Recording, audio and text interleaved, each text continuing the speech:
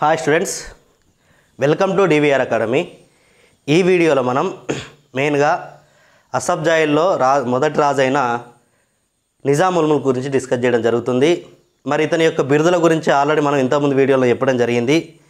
ఆ వీడియో గు- చూసిన తర్వాత ఇక్కడికి రండి. ఎందుకంటే మీకు ఈజీగా అర్థం కావడానికి అవకాశం ఉంటుంది. ఈ ఆ వీడియో చూడకుంటే ఈ వీడియో చూస్తే కొద్దిగా అర్థం కావడానికి అవకాశం ఉండదు కాబట్టి ఫస్ట్ ఆ వీడియో చూడండి. ఎవరైనా ఛానల్ కొత్తగా విజిట్ చేస్తున్న వారైతే ఖచ్చితంగా సబ్స్క్రైబ్ చేసుకోండి. అదేవిధంగా వీడియోలను కూడా లైక్ చేయడానికి ప్రయత్నం చేయండి. మరి మన టాపిక్లోకి వెళ్ళినట్లయితే మరి ఇక్కడ నిజాముల్ ముల్క్ నిజాముల్ ముల్క్ పదిహేడు వందల ఇరవై నాలుగు నుంచి నలభై ఎనిమిదో సంవత్సరం వరకు పరిపాలించడం జరిగింది. ఇతను అసబ్జాయిల యొక్క వంశస్థాపకుడు లేదా రాజ్యస్థాపకుడు అని మనం చెప్పచ్చు. మరి ఇతని యొక్క అసలు పేరు ఏం పేరు? మీర్ కమరుద్దీన్ సిద్దిక్ అనే పేరు ఇతని యొక్క అసలు పేరు. ఇతని యొక్క అసలు పేరు ఏం పేరు? మీర్ కమరుద్దీన్ ఖాన్ సిద్దిక్ అనేది ఇతని యొక్క అసలు పేరు అని మనం చెప్పచ్చు. ఈ అసలు పేరు ఈ పేరుని ఎవరు పెట్టాలంటే ఔరంగజేబ్ పెడతాడు. మరి ఇతని యొక్క నిజాముల్ ముల్క్ అనే బిరుదు ఉంటుంది. ఈ నిజాముల్ ముల్క్ అనే బిరుదును ఎవరు ఇచ్చిల్లంటే ఫరూక్ సియార్ ఇస్తాడు. అంతకుముందు వీడియోలో చెప్పిన వాటిని అన్నింటిని ఒకసారి చూసిన తర్వాత ఇది చూడండి. మరి ఫరూక్ సియారు నిజాముల్ ముల్క్ అనే బిరుదు ఇస్తాడు కాబట్టి ఆ బిరుదుతోటే ఇతను మరి రాజ్యానికి రావడం జరుగుతుంది. అంటే దీన్నే అసలు పేరుగా మార్చుకోవడం జరుగుతుంది ఇతని అసలు పేరు మీర్ కమరుద్దీన్ ఖాన్ సిద్దిక్. మరి ఇలా యొక్క రాజ్యం పేరు అసబ్జాయిలు అసబ్జాయిలు అనే అంటే అసబ్జా అనే బిరుదిచ్చింది ఎవరంటే మహమ్మద్ షా రంగీలా లేదా మొదటి మహమ్మద్ షా అనేటోడు. మరి ఇతనికి అసబ్జా అని బిరుదిస్తాడు ఆ అసబ్జా అంటే అతను ఇచ్చిన బిరుదుతోటే తన యొక్క రాజ్యాన్ని స్థాపిస్తాడు. మరి ఇతని యొక్క రాజధాని ఏంటిది? రాజధాని ఏంటిదంటే ఔరంగాబాద్. ఔరంగా ఔరంగాబాద్ను రాజధాని చేసుకుంటాడు. ఔరంగాబాద్ అనేది తన యొక్క గురువైన ఔరంగజేబ్ మీద అభిమానంతో ఔరంగాబాద్ను రాజధానిగా చేసుకోవడం జరుగుతుంది. అంటే తన రాజధానికి ఔరంగాబాద్ అనే పేరును పెట్టడం అనేది జరుగుతుందని గుర్తుపెట్టుకోవాల్సిన అవసరం అనేది ఉన్నది. మిగతా బిరుదులన్నీ కూడా ఒకసారి అక్కడికి వెళ్ళి చూడండి. మరి ఖచ్చితంగా అవసరం ఉంటుంది. మరి బిరుదులు అడగచ్చు. ఎట్లా అడుగుతాడంటే మరి ఇటు రాజు ఇచ్చి ఇటు బిరుదిచ్చి మరి జతపరచమని అడుగుతాడు. మనం ఆన్సర్ చేయడానికి అవకాశం ఉండాలి. మరి ఇతను చేసిన యుద్ధాలు అంటే మెయిన్గా ఇతను మరాఠాలతోటి మూడు యుద్ధాలు చేస్తాడు. వాస్తవానికి మరాఠాలతోటి యుద్ధం చేయడానికి కారణం ఎవరంటే మహమ్మద్ షా రంగీలా అనేటోడే మొఘల్ రాజు మహమ్మద్ షా రంగీలా అనేటోడే కారణమవుతాడు. ఎందుకు కారణమవుతాడంటే మరాఠాలు మరాఠాలు వాళ్ళ కాలంలో మరి చాలా గొప్పగా ఎదగడం అనేది జరుగుతుంది. అంటే వీళ్ళ మీద యుద్ధానికి వేస్తే గెలవడం అనేది అంత ఈజీ కాదు. మరి మహమ్మద్ షా రంగీలా ఏమంటాడంటే మరి ఈ మొఘల్ సామ్రాజ్యమే. మొఘల్ సామ్రాజ్యంలో మహమ్మద్ షా రంగీలా ఉంటాడు పరిపాలిస్తూ ఉంటాడు. మొఘల్ షా మహమ్మద్ షా రంగీలా ఏమంటాడంటే ఇతనికి పితామహ ఈ మహారాష్ట్రాలతోటి నాకు ఇబ్బంది అవుతుంది ఒక్కసారి నువ్వు మహారాష్ట్రలో పోయి ఓడగొట్టాలని చెప్తాడు. మరి ఓడగొట్టాలని చెప్పినప్పుడు మరి ఈయన వాళ్ళకి సామంతుడాయ మరి. ఎవరికి? మొఘల్స్కు సామంతుడుగా ఉంటాడు కాబట్టి మరి ఫస్ట్ చెప్తాడు నేను ఎప్పుడైనా మీకు విధేయుడిగా ఉంటా మీకు ఏ కష్టం వచ్చినా ఆదుకుంటా మీరు చెప్పిన పని అలా చేయడానికి ప్రయత్నం చేస్తా అంటాడు. అన్నప్పుడు ఏమవుతుంది మరి ఒక ఆజ్ఞ జారీ చేసింది ఏంటిది? మరాఠాలతోటి యుద్ధం చేసి వాళ్ళని ఒడగొట్టి వాళ్ళ యొక్క మెడలు వంచడానికి ప్రయత్నం చేయాలని చూస్తారు చూసినప్పుడు ఏం జరుగుద్దంటే ఇతను యుద్ధానికి పోతాడు. ఎవరు? నిజాముల్ ముల్క్. వాస్తవానికి మరాఠాల మీద గెలవడం అనేది అంత ఈజీ కాదు. వాళ్ళకు గెరిల్లా యుద్ధం అనేది యుద్ధ యుద్ధ పద్ధతి అనేది వస్తుంది. వాళ్ళ మీద గెలవడం అనేది నాటే జోక్ అది. మరి వాస్తవానికి అట్లా ఉన్నది కాబట్టి ఇతను ఏం చేస్తాడు? పాల్కేడి యుద్ధం చేస్తాడు. ఎవరి మీద? మరాఠాలతోటి యుద్ధానికి వెళ్తాడు. పాల్కేడి యుద్ధం చేస్తాడు. పాల్కేడి యుద్ధం చేస్తే ఎప్పుడు ఎప్పుడు చేస్తాడంటే పదిహేడు వందల ఇరవై ఎనిమిదో సంవత్సరంలో మరాఠాలకున్న మన నిజాముల్ ముల్క్ మధ్య పాల్కేడి యుద్ధం జరిగితే ఈ పాల్కేడి యుద్ధంలో ఓడిపోతాడు. పాల్కేడి యుద్ధంలో ఓడిపోవడం జరుగుతుంది. ఏం చేస్తాడు? ఓడిపోవడం జరుగుతుంది నేను చెప్పిన కదా ఫస్టే గెరిల్లా యుద్ధ పద్ధతులు ఉంటే వాళ్ళ దగ్గర కాబట్టి వాళ్ళ మీద గెలవడం అనేది అంత ఈజీ కాదు కాబట్టి ఓడిపోవడం జరుగుతుంది ఓడిపోయిన తర్వాత మరాఠోళ్ళు అడుగుతారు. ఎందుకు వచ్చినవరా అంటే సార్ మా పెద్ద రాజైన మహమ్మద్ షా రంగీలా రమ్మన్నాడు యుద్ధం చేయమన్నాడు అందుకే వచ్చిన. కానీ నాకు ఎటువంటి మీ మీద ఎటువంటి నాకు శత్రుత్వం అనేది లేదు. దయచేసి నన్ను వదిలిపెట్టండి అంటే అట్టెట్లా వదిలిపెడతాం రాబాయ్ మరి నువ్వు ఏం చేస్తావు నాకు తెలియదు నాకు నువ్వు సామంతుడిగా అంటే నాకు కూడా సామంతుడిగా ఉండు. నువ్వు ఆల్రెడీ ఢిల్లీకి సామంతుడిగా ఉన్నావు. మరి మా గురించి తెలుసుకోకుండా నువ్వు రాజ్యానికి వచ్చి మా మీద యుద్ధం చేసినావు కాబట్టి నువ్వు ఖచ్చితంగా మాకు పన్ను కట్టాలంటాడు. మరి పన్ను కట్టాలని ఇక్కడ మూసిగావ్ అనే సంధి చేసుకోవడం జరుగుద్ది సంధి పేరు ఏం పేరు?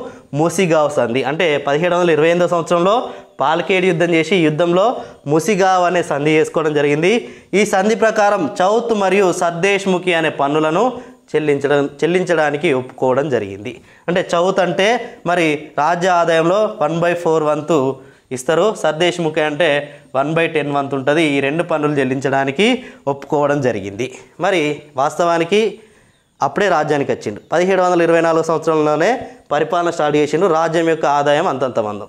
మరి అంతంత మందం అయినప్పుడు ఏమవుతుంది ఇక్కడ? మరి ఆడేమో నిద్రముఖమోడు ఏం చేసిండు? నువ్వు యుద్ధానికి పోవాలి వాళ్ళని ఓడగొట్టాలని చెప్తే ఇక్కడికి వచ్చి మనోడు ఇరకాటంలో పడ్డాడు. ఇరకాటంలో పడ్డప్పుడు ఏమవుతుంది ఇక్కడ? మరి ఇక్కడ పన్ను కడతాండు. ఈ పన్ను కడతా అంటే మనవానికి భారం అవుతుంది. ఈ పన్ను కట్టడం అనేది. రాజ్యాన్ని పరిపాలించడం రాజ్యంలో ఆర్థిక పరిస్థితి మంచి లేదు. పన్ను కట్టడం అనేది భారం అవుతుందని మళ్ళీ పదిహేడు వందల ముప్పై ఒకటో సంవత్సరంలో సూరత్ యుద్ధానికి పోవడం జరుగుతుంది. అంటే వీళ్ళ మీద మరాఠాలతోటి మళ్ళీ సూరత్ యుద్ధం చేయడం జరుగుతుంది. ఈ సూరత్ యుద్ధంలో మరి సూరత్ యుద్ధంలో కూడా ఓడిపోతాడు. ఓడిపోయి ఇక్కడ వార్నా సంధిని చేసుకోవడం జరుగుతుంది. ఏ సంధి చేసుకుంటాడు? వార్నా సంధిని చేసుకోవడం జరుగుతుంది. మళ్ళీ గదే అంటే ఎందుకు పోతాడు మరి? ఈ పన్ను కట్టడం అనేది తగ్గించాలంటే వీళ్ళని ఓడగొడితేనే అవుతుంది అనుకుంటాడు మళ్ళీ ఓడగొడదామని వెళ్తే ఓడగొట్టడం అనేది ఓడించడం అనేది సాధ్యం కాదు. ఓడించడం సాధ్యం కాకపోవడంతో మళ్ళీ వారణా చేసుకోవడం జరుగుతుంది. మళ్ళీ ఎందుకు వచ్చినవరా అంటే కొద్దిగా పన్నును తగ్గించండి నాకు ఇబ్బంది అవుతుందంటే తగ్గించేది ఏం లేదని వారణా సంధి చేసుకోవడం జరుగుద్ది. అంటే సెకండ్ యుద్ధం ఏంటిది? సూరత్ యుద్ధం చేసుకొని సూరత్ యుద్ధంలో ఏ సంధి చేసుకున్నాడు?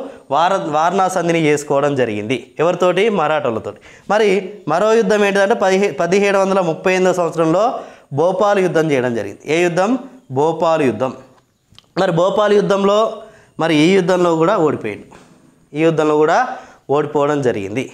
మరి మళ్ళా పోయినప్పుడు వీళ్ళు ఏమంటారు? మరాఠోళ్ళు మళ్ళీ ఎందుకు వచ్చినవరా రెండుసార్లు ఓడగొట్టినా నీకు బుద్ధి లేదా? మరి ఖచ్చితంగా ఈసారి నువ్వు ఈ పన్నులతో పాటు యుద్ధ ఖర్చు కూడా చెల్లించాలని చెప్తారు. యుద్ధ ఖర్చు కూడా చెల్లించాలని చెప్తే మరి ఏం ఏం చేసుకుంటాడంటే దురాసరాయ్ అనే సంధి చేసుకొని ఏ సంధి? దురాయి సరాయ్ అనే సంధి చేసుకొని ఈ సంధి ప్రకారం అప్పుడున్న ట్యాక్సులు ప్లస్ ట్యాక్సులతో పాటు యుద్ధంలో గెలిచినా ఓడినా కానీ మరి ఒక యుద్ధం వచ్చిందంటే ఒక రాజ్యానికి లాభమా నష్టం అంటే నష్టమే వస్తుంది. మరి నష్టం వస్తుంది కాబట్టి ఆ యుద్ధ ఖర్చు మొత్తాన్ని కూడా నువ్వే చెల్లించాలి. చెల్లించి పన్ను కడితేనే నిన్ను ఊకుంటాం బిడ్డ లేకపోతే నీ రాజ్యాన్ని కూడా ఆక్రమిస్తామని పేర్కొంటారు. అట్లా పేర్కొన్నప్పుడు ఏమవుతుంది ఈ విధంగా చేసేదేం లేక మనోడు భోపాల్ యుద్ధం తర్వాత దురాయి సంధి చేసుకొని మరి యుద్ధ ఖర్చును నష్టపరిహారాన్ని చెల్లించడానికి ఒప్పుకోవడం అనేది జరుగుతుంది. అంటే ఈ విధంగా మూడు యుద్ధాలు చేసిండు. మూడు యుద్ధాలు మెయిన్గా పదిహేడు వందల ఇరవై ఎనిమిదిలో పాల్కేడు యుద్ధం ముసిగావ్ సంధి దీని ప్రకారం ఏం పన్నులు? చౌత్ మరియు సర్దేశ్ముఖి అనే పన్నులు అని గుర్తుపెట్టుకోండి. పదిహేడు వందల ముప్పై ఒకటిలో సూరత్ యుద్ధం వారణా సంధి తర్వాత పదిహేడు వందల ముప్పై ఎనిమిదిలో భోపాల్ యుద్ధం దురాయి సరాయి సంధి అని గుర్తుపెట్టుకోండి. మరి ఈ విధంగా ఇది ఈ విధంగా యుద్ధాలు చేయడం జరిగింది ఓడిపోవడం జరిగింది. మరి ఇతని యొక్క నిజాముల్ ముల్క్ యొక్క అంటే ఇతను స్వయంగా కవి మరి రచయిత ఇతని యొక్క కలం పేరు ఏంటిదంటే షాకీరా. ఇతని యొక్క కలం పేరు షాకీరా అని చెప్పచ్చు. షాకీరా అనే కలం ఇతనికి ఉన్నది. మరి మహమ్మద్ కులీ కుతుబ్ షా యొక్క కలం పేరు మనీల్ అని చెప్పొచ్చు. ఈ విధ అదే విధంగా ఇతని యొక్క కలం పేరు షాకీరా అని చెప్పచ్చు. మరి ఈ విధంగా ఇతని యొక్క సంతానం చూసినట్లయితే ఇతని యొక్క కొడుకులు నలుగురు సారీ ఐదుగురు కొడుకులు ఉంటారు. ఐదుగురు కొడుకులు ప్లస్ ఒక కూతురు ఉంటుంది. ఈ సంతానం గురించి ఎందుకు చెప్తానంటే ఈ సంతానం నుంచే నెక్స్ట్ స్టోరీ అంతా స్టార్ట్ అవుతుంది మరి ఇతని యొక్క కొడుకులు చూసినట్లయితే మొదటి కొడుకు గాజీ ఉద్దీన్ ఇత ఇతను మొఘల్ సామ్రాజ్యంలో ఉద్యోగిగా పనిచేస్తాడు. మొఘల్ ఉద్యోగిగా పనిచేయడం జరుగుతుంది. ఎవరు? గాజీ ఉద్దీన్ మరి గాజీ ఉద్దీన్ తర్వాత నెక్స్ట్ వాడు ఎవరంటే నాజర్ జంగ్ తర్వాత ఎవరు? సలాబత్ జంగ్ తర్వాత నిజాం అలీ ఖాన్ నిజాం అలీ ఖాన్ తర్వాత బసాలత్ జంగ్ అనేటోడు ఉంటాడు. మరి ఈ విధంగా ఐదుగురు కొడుకులు ఉంటారు. ఐదుగురు కొడుకులకు ఒక కుమార్తె ఉంటుంది. ఆ కుమార్తె పేరే ఖైర్ ఉన్నీసా. ఆ కుమార్తె పేరే ఖైర్ ఆ ఖైరు ఖైర్ వాళ్ళ కొడుకే ముజఫర్ జంగు వీళ్ళను మంచిగా గుర్తుపెట్టుకొని నెక్స్ట్ స్టోరీ ఉంటుంది వీళ్ళ గురించి. అంటే ఐదుగురు కొడుకులు ఉంటే మరి ఈయన ఎప్పుడో పదిహేడు వందల సారీ పదహారు వందల డెబ్బై ఒకటో సంవత్సరంలో జన్మిస్తాడు. జన్మించిన తర్వాత అంటే పది వాస్తవానికి పదిహేడు వందల ముప్పై ఎనిమిది అంటే అప్పటికి ముప్పై ఎనిమిది ముప్పై తొమ్మిది అంటే అప్పటికి మనోని ఏజ్ అయిపోతుంది. ఏజ్ అయిపోయిన తర్వాత వీడు అంటే ఇతను అయిపోయిన తర్వాత ఇతని తర్వాత రాజ్యానికి రావాల్సింది ఎవరు? ఇతని యొక్క పెద్ద కొడుకు అయినా పెద్ద కొడుకు అయినా గాజీ ఉద్దీన్ అంటోడు రాజ్యానికి రావాలి. మరి ఏదో పండగ వచ్చినప్పుడు ఏదో రంజాన్ పండగకో ఏ పండగకో మరి వీడి ఇంటికి వచ్చినప్పుడు గాజీ ఉద్దీన్ అనేటోడు వచ్చినప్పుడు మరి ఆయన పిలిపిస్తాడు కొడుకును. పిలిపించి మరి నా పని అయిపోయేటట్టున్నది నేను ఇక ఎక్కువ రోజులు ఉంటానో ఉండనో తెలియదు కాబట్టి నా తర్వాత రాజ్యాన్ని ఏలాల్సింది నువ్వే కాబట్టి నువ్వు అక్కడ ఉద్యోగాన్ని మానేసి ఇక్కడికి రా. ఇక్కడికి వచ్చి మరి ఈ రాజ్యం గురించి తెలుసుకో అని అంటాడు అంటే రాజ్యం గురించి ఎందుకు తెలుసుకోవాలి మరి? వాడు రాజు కానీ ఆడు వచ్చి డైరెక్ట్గా రాజు అయితే ఇక్కడ రాజ్యంలో ఎవరికి తెలియకుంటే ఏమంటారు? ఈడెవడో రాజు అయిండు అని ఎవరికి ప్రజలకు తెలియకపోతే ఇబ్బంది అవుతుంది కాబట్టి ఈ రాజ్యం యొక్క పరిస్థితులు నీకు తెలవాలి అని ఇక్కడ ఇక్కడ వచ్చి ఉండు అని చెప్తారు. చెప్పినప్పుడు ఇతను ఏమంటాడంటే నాకు ఈ రాజ్యం పరిపాలన అటువంటి ఇష్టం లేదు డాడీ. మరి నేను అక్కడనే ఉద్యోగం చేస్తే నాకు అదే ఇష్టం ఉన్నది అంటాడు.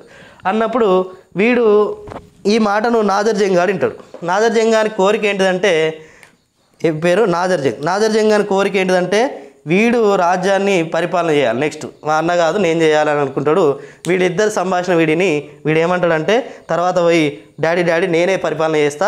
నువ్వు దిగిపోయిగా. అన్నయ్య చేయనంటాను కదా. నేను ఖచ్చితంగా నాకే ఇయ్యి. నువ్వు ఇప్పుడే ఇప్పుడే దిగిపో అని చెప్తాడు. చెప్పినప్పుడు అట్లా ఇట్లా ఉంటుందిరా. ఇక అది కుదరదని అంటాడు. అయిపోయిన తర్వాత నీకే ఇస్తా అన్నట్టు మాట్లాడుతున్నాడు అంటే వీనికి చెప్తాడు వాస్తవానికి. గాజీ ఉద్దీన్ గారికి చెప్తాడు. ఏమని?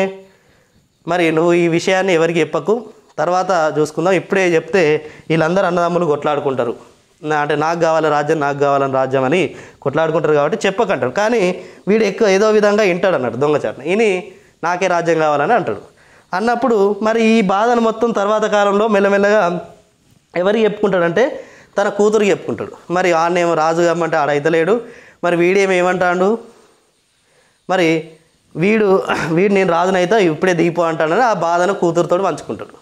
ఆ విధంగా వంచుకున్న సమయంలో ఏమైతే ఈమె ఏమంటుంది ప్లాన్ చేస్తుందంటే వీళ్ళు ఎవరు కాదు వీళ్ళందరూ మొద్దు ముఖం వాళ్ళు నా కొడుకుని రాజుని చేయి నా కొడుకు కూడా నీకు హెల్ప్ చేస్తాడు కదా నా కొడుకు గొప్పవాడు నా కొడుకుని రాజు చేయని వాడు ఏదో మందు తాగినప్పుడు మత్తులో ఉన్నప్పుడు ఒక పేపర్ మీద సంతకం చేయించుకుంటుంది. ఎవరు? ఖైరునిసా ఎవరిని? ముజఫర్ జంగ్ను నా తదనంతం రాజు చేస్తా అని ఇక్కడ చేయించుకుంటుంది. చేయించుకున్నప్పుడు తర్వాత ఆయనకి పిచ్చిలేస్తా అన్నట్టు. ఎవరికి? మన నిజాముల్ ముల్క్. ఎందుకు పిచ్చిలేస్తుంది మరి వాడేమో చేయనంటాడు వీడేమో ఇప్పుడే దిగిపో అంటాడు ఈమెమో నా కొడుకుని చేయంటాంది మరి ఇటువంటి పరిస్థితుల్లో ఏమవుతుందంటే పదిహేడు వందల ముప్పై తొమ్మిదో సంవత్సరంలో మరి నాదిర్ షా అనేటోడు మొఘల్ రాజ్యంపై దండయాత్ర చేయడం జరుగుతుంది. ఎవరి మీద దండయాత్ర చేసిండు? మొఘల్ సామ్రాజ్యంపై నాదిర్ షా అనేటోడు దండయాత్ర చేస్తాడు. మరి అప్పుడు రాజు ఎవరు? ఒకటవ మహమ్మద్ షా. ఎక్కడ? మొఘల్ సామ్రాజ్యంలో. ఒకటవ మహమ్మద్ షా ఢిల్లీని పరిపాలిస్తుంటే పదిహేడు వందల ముప్పై తొమ్మిదిలో మరి ఇరాన్ లేదా పర్షియా ప్రాంతానికి చెందిన ఇతన్ని ఏమంటారంటే ఇరాన్ నెపోలియన్ అంటారు. ఈ నాదిర్ షా అనేటోడు దండయాత్ర చేస్తాడు. దండయాత్ర చేస్తాడని అంటే వాడు వస్తాడని తెలిసినప్పుడే వాడు వర్తమానం పంపించినప్పుడే ఈ మహమ్మద్ షా గాడు చెప్పిన కదా వీడు మహమ్మద్ షా రంగీలు అంటాడు వీడు ఎంజాయ్ చేస్తూ ఉంటాడు. ఈయన పరిపాలన గురించి ఏం తెలియదు.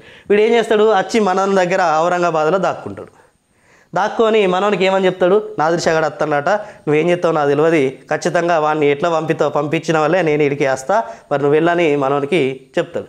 చెప్పినప్పుడు ఈ నాదిర్ వచ్చి ఏం చేస్తాడంటే మరి ఢిల్లీ ప్రాంతంలో మరి కల్నాల్ యుద్ధం అంటే ఇక్కడ జరిగిన యుద్ధం ఏంటంటే కర్నాల్ యుద్ధం అనే ఒక యుద్ధం జరుగుతుంది. ఈ యుద్ధంలో ఇతను ఇక్కడ అంటే ఢిల్లీలో రక్తపాతాన్ని సృష్టించడం జరుగుతుంది.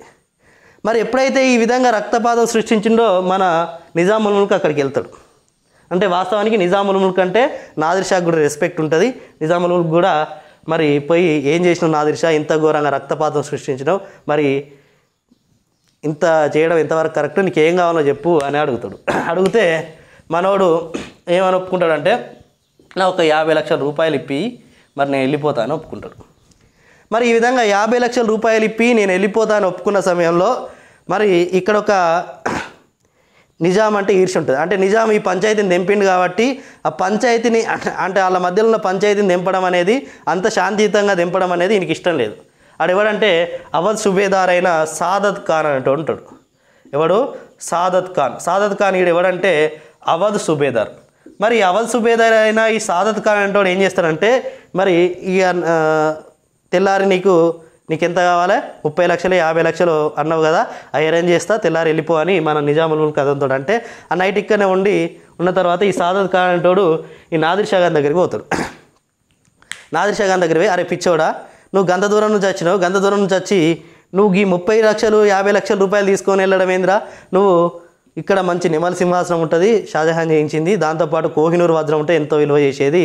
మానవుల దగ్గర బొచ్చే డబ్బులు ఉన్నాయి మరి నువ్వు డిమాండ్ చేయి ఇస్తారు ఖచ్చితంగా అని ఎక్కించడం జరుగుతుంది. ఎక్కించిన తర్వాత ఈ నాదిర్ షా తెల్లారి మళ్ళీ ప్లేట్ మాస్తాడు ఏమంటాడు? నేను ఇలా యాభై లక్షలు ముప్పై లక్షలు కాదు నాకు డెబ్బై కోట్ల రూపాయలు కావాలి. ఏమంటాడు? డెబ్బై కోట్ల రూపాయలు నెమలి సింహాసనం మరియు ఇంకోటి ఏంటిది? నెమలి సింహాసనంతో పాటు కోహినూరు వజ్రం. ఏ వజ్రం? కోహినూరు వజ్రం అనేది కూడా కావాలి. ఈ మూడు నాకు ఇస్తేనే నేను వెళ్ళిపోతా అంటే అప్పుడు చేసేదేం లేక ఆయనకి నాదిరి షాకు మరి నెమలి సింహాసనం కోహినూరు వజ్రం డెబ్బై కోట్ల రూపాయలు ఇచ్చి వెళ్ళగొట్టడం జరుగుతుంది. ఇక్కడ ఈ స్టోరీ ఇక్కడ జరుగుతుంటే మరి ఇక్కడ ఒక స్టోరీ జరుగుతుంది. మరి ఏం చేస్తారంటే మనోడు నాదిర్ షాను మరి నాదర్శి నాదిర్ షాను శాంతియుతం చేయడానికి వెళ్తుంటే ఇతని కొడుకైన నాదర్ జంగ్ ఏం చేస్తారంటే మరి నాజర్ జంగు ఇక్కడ ఉండి మరి మా అయ్య నాదిర్ తోటి యుద్ధం చేయడానికి వేయండు ఆడు చిన్నోడు కాదు. ఖచ్చితంగా మా అయ్యను చంపుతాడు కాబట్టి నేనే రాజును నేనే రాజునని సింహాసనం మీద కూర్చుంటాడు. అంటే ఈయన ఇక్కడ యుద్ధం చేసి వచ్చేలోపే ఈ నాదిర్ సింహాసనం మీద కూర్చోవడం జరుగుతుంది. సింహాసనాన్ని మీద కూర్చున్నప్పుడు మనల్ని కోపం వచ్చి బాగా కొ- కొట్టి మరి బంధించడం అనేది జరుగుతుంది. బంధి బంధించిన తర్వాత తర్వాత కాలంలో మరి పాపం మరి పదిహేడు వందల నలభై ఒకటిలో జైలు నుంచి విడిపిస్తే మళ్ళీ పదిహేడు వందల నలభై ఒకటో సంవత్సరంలోనే మళ్ళీ నాదర్ జంగ్ అనేటోడు మన మీద తిరుగుబాటు చేయడం జరుగుతుంది. ఎవరి మీద తిరుగుబాటు చేస్తాడు? మరి నిజాముల్ మీద నిజాముల్ ముల్క్ మీద తిరుగుబాటు చేయడం అనేది జరిగింది. మరి ఈ తిరుగుబాటు చేస్తే ఈ తిరుగుబాటుకు మనోడు వెళ్ళి మా ఓడించడం అంటే ఓడించడం అంటే బాగా కొట్టడం అనేది జరుగుతుంది. మరి కొట్టిన తర్వాత ఆ విధంగా అయిపోతుంది. అయిపోయిన తర్వాత అంటే ఇతను తిరుగుబాటును అణచివేయడం జరుగుతుంది. అణచివేసిన తర్వాత పదిహేడు వందల నలభై ఎనిమిదిలో మళ్ళీ మరి మొఘల్స్ మీద అహ్మద్ షా అబ్దాలి అనేటోడు దండయాత్ర చేయడం జరుగుతుంది. అహ్మద్ షా అబ్దాలి అనేటోడు దండయాత్ర చేయడం జరుగుతుంది. మరి ఆ దండయాత్ర చేసిండని మళ్ళీ ఏం చేస్తాడు? ఈ మొదటి మహమ్మద్ షా అంటాడు మళ్ళీ వస్తాడు. ఆడు దండయాత్ర చేయగానే ఆడు రావడం ఈడు ఇటు రావడం అయిపోతుంది. మరి అంటే ఈయనకి భయం అన్నట్టు గజ గజ అనుకుంటూ వస్తాడు అన్నట్టు. వచ్చినప్పుడు ఏమవుతుంది మళ్ళీ వెళ్తాడు వెళ్ళే టైంలో అంటే మొఘల్ సామ్రాజ్యం అంటే ఇతను అంటే ఎవరైతే మన నిజాముల్ ముల్కు అహ్మద్ షా అబ్దాలి దగ్గరికి అంటే ఢిల్లీకి వెళ్ళకముందే ఈ మొఘల్ సైన్యం అనేది అహ్మద్ షా అబ్దాల్ని ఓడించి వెళ్ళగొట్టడం జరుగుతుంది. ఎప్పుడైతే అహ్మద్ షా అబ్దాల్ని ఓడించి వెళ్ళగొట్టిందో మరి వెళ్ళగొట్టిందో అయిపోయిందని మనోనికి వెళ్ళే మార్గ మధ్యమంలోనే కబురు అందడం అనేది జరుగుతుంది. కబురు అందినప్పుడు మళ్ళీ తిరిగి వస్తున్న సమయంలో బుర్హాన్పురా అనే ప్రదేశం వద్ద అస్వస్థతకు గురై మరణించడం జరిగింది. ఎవరు? మన నిజాముల్ ముల్క్ అంటోడు అస్వస్థతకు గురై మరణించడం అనేది జరిగింది. ఇక్కడ బుర్హాన్పురా అనే ప్రాంతం వద్ద మరణించడం జరిగిందని గుర్తుపెట్టుకోవాలి. ఇది మొత్తం కూడా నిజాముల్ ముల్క్ గురించిన స్టోరీ. తర్వాత ఎవరు రాదవుతారు కామన్గా నాదర్జంగ్ రాజు అవుతాడు తర్వాత స్టోరీ అనేది నెక్స్ట్ వీడియోలో తెలుసుకుందాం. తర్వాత నాజర్ జంగ్ గురించి ముజఫర్ జంగ్ సలాబత్ జంగ్ గురించి ఒకటో వీడియో ఒకటే వీడియోలో తెలుసుకోవడానికి ప్రయత్నం చేద్దాం. ఈ టాపిక్ కొద్దిగా డీప్గా ఎందుకు చెప్తున్నా అంటే ఇది కొద్దిగా ఇంపార్టెంట్ టాపిక్ కాబట్టి డీప్గా చెప్పడం అనేది జరుగుతుంది. ఎక్కువ మార్కులు దీనిలోంచి రావడానికి స్కోప్ ఉన్నది. రైట్. Okay thank you